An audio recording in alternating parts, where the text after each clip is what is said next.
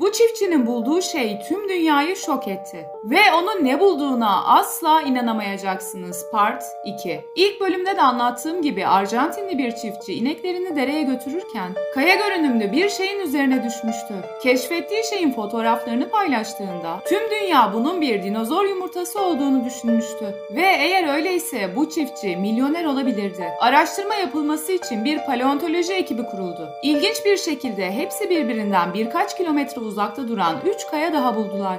Ve paleontologlar bunun nadir bir hayvan olan gliptodon kabukları olduğunu söylediler.